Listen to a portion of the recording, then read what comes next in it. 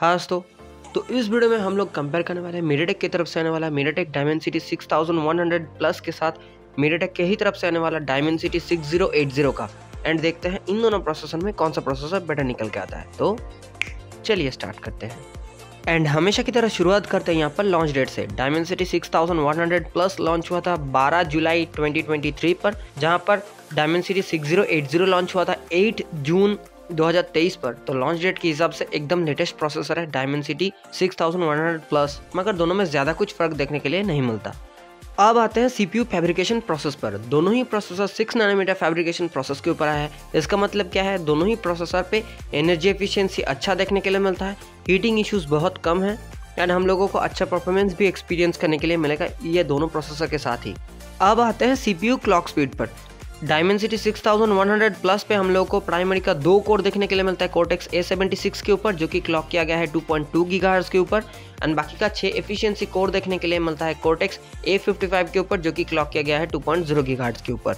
Dimensity 6080 की बात करें तो यहाँ पर प्राइमरी का दो कोर देखने के लिए मिलता है कोटेक्स ए सेवेंटी सिक्स के ऊपर ही, मगर यहाँ पर क्लॉक स्पीड देखने के लिए मिलता है टू पॉइंट एंड बाकी का छह एफिशिएंसी कोड सेम देखने के लिए मिलता है कोटेक्स ए फिफ्टी फाइव ही एंड क्लॉक स्पीड भी सेम देखने के लिए मिलता है टू पॉइंट का। तो सीपीयू कोड स्ट्रक्चर में कुछ भी चेंजेस देखने के लिए नहीं मिलता, सिर्फ़ जो डिफरेंस देखने के लिए मिलता है वो प्राइमरी का दो कोड में, एक में थोड़ा सा ज़्यादा क्लॉक स्पीड देखने के लिए मिलता है तो एक में थोड़ा सा कम। तो सी सीपीयू क्लॉक स्पीड के मामले में यहाँ पर बेटर निकल के आता है Dimensity six zero eight zero अब आते हैं जी जीपीयू पे, यानी कि ग्राफिक्स प्रोसेसिंग यूनिट पर। यहाँ पर कुछ भी डिफरेंस देखने के लिए नहीं मिलता, दोनों ही प्रोसेसर में। दोनों पे ही देखने के लिए मिलता है ARM Mali G fifty seven MC two to जीपीयू जो कि दो कोर का जीपीयू है, यानी कि डुअल कोर जीपीयू है एंड जिसको बनाया गया है सेवन नैनोमीटर के ऊपर एंड जिसको क्लॉक किया गया है नाइन फिफ्टी मेगाहर्ट्ज के ऊपर। अब आते हैं कैमरा सपोर्ट पर। यहाँ पर भी कोई भी डिफरेंस देखने के लिए नहीं मिलता, दोनों ही प्रोसेसर के साथ। दोनों ही प्रोसेसर में डुअल आईएसपी का सपोर्ट देखने के लिए मिलता है। आईएसपी का मतलब होता है इमेज सिग्नल प्रोसेसर जहाँ पर डुअल कैमरा में 16 plus 16 megapixel and single camera में मैक्सिमम 108 मेगापिक्सल तक का कैमरा का सपोर्ट देखने के लिए मिलता है। अब आते हैं वीडियो रिकॉर्डिंग पर। दोनों ही प्रोसेसर के साथ 2K अप टू 30 एफ़ तक का वीडियो रिकॉर्डिंग का सपोर्ट देखने के लिए मिलता है, जहाँ पर full H D ten video up to 60 F तक का रिकॉर्डिंग का सपोर्ट देखने के लिए मिलता है।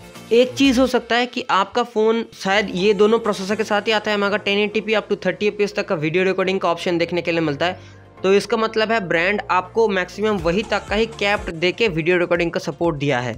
ओके तो जो भी हो वीडियो रिकॉर्डिंग के मामले में भी कोई भी डिफरेंस देखने के लिए नहीं मिलता दोनों प्रोसेसर में। अब आते हैं डिस्प्ले सपोर्ट पर। दोनों ही प्रोसेसर पे on device maximum full H D plus तक का ही डिस्प्ले का सपोर्ट देखने के लिए मिलता है। एंड रिफ्रेश रेट की बात करें तो यहाँ पर भी मामला बिल्कुल सेम है। दोनों ही प्रोसेसर के साथ मैक्सिमम 120 ट्वेंटी तक का ही रिफ्रेश रेट का सपोर्ट देखने के लिए मिलता है। अब आते हैं रैम सपोर्ट पर। दोनों ही प्रोसेसर पे up to L P D D R four X तक का रैम का सपोर्ट देखने के लिए मिलता है।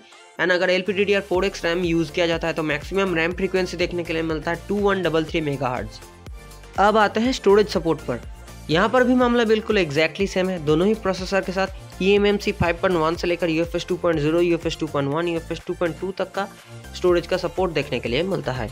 अब आते हैं डाउनलोड स्पीड पर। Dimensity six thousand one hundred plus five G network पर मैक्सिमम डाउनलोड स्पीड देखने के लिए मिलता है up to three point three G B P S तक एंड जहाँ पर सिक्स ज़ीरो एट ज़ीरो पे देखने के लिए मिलता है up to point seven seven G B P S तक। तो डाउनलोड स्पीड के मामले में बेटा निकल के आता है one hundred plus M M wave support की बात करें 5G नेटवर्क पर तो दोनों ही प्रोसेसर के साथ एम एम वेब का सपोर्ट देखने के लिए नहीं मिलता।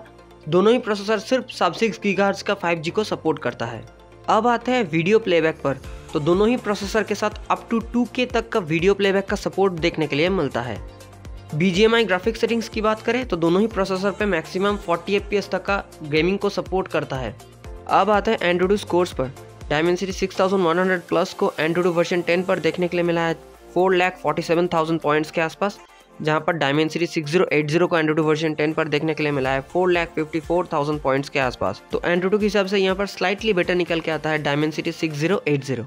अब आता है गीक बेंच कोर्स पर। सिंगल कोर पर Dimensity six thousand one hundred plus को देखने के लिए मिला है seven hundred and thirty three points जहाँ पर मल्टी कोर पर देखने के लिए मिला है one thousand nine hundred and seventeen points Dimensity six zero eight zero की बात करें तो इसको सिंगल कोर पर देखने के लिए मिला है seven hundred and sixty eight points and multi core पे देखने के लिए मिला है 2080 पॉइंट्स तो single core and multi core दोनों मामले पर ही यहाँ पर स्लाइटली बेटर निकल गया था डायमेंसिटी 6080 अब आते हैं साइड बाय साइड कंपैरिजन पे. कौन सा प्रोसेसर कौन सा डिपार्टमेंट पर बेटर परफॉर्म किया? शुरुआत करते हैं डायमेंसिटी 6100 प्लस से.